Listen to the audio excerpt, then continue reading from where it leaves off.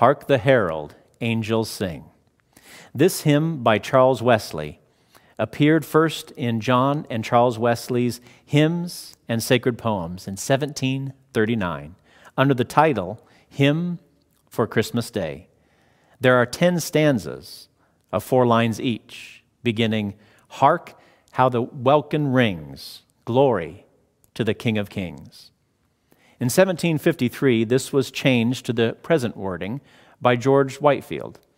And since then, other minor alterations have been made, including in 1782 the repetition of the first two lines as a refrain.